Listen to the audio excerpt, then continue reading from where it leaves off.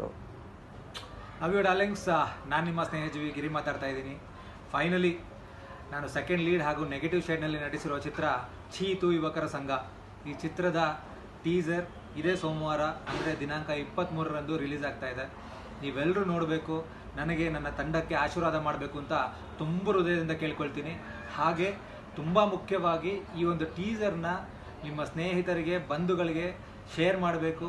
Like ಮಾಡಬೇಕು comment ಮಾಡಬೇಕು ಅಂತ ತುಂಬ ಕೇಳ್ಕೊಳ್ಳೋದಕ್ಕೆ ಇಷ್ಟಪಡ್ತೀನಿ. ನಮಸ್ಕಾರ.